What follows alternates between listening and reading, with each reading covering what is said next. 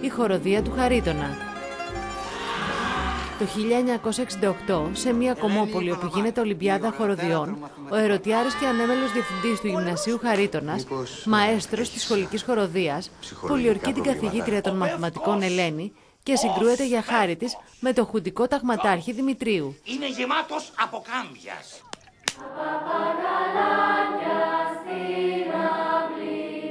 Δεν μπορεί να συνεχιστεί, δηλαδή δεν, δεν το, δεν, δεν το αντέχω. Εξάσυπον.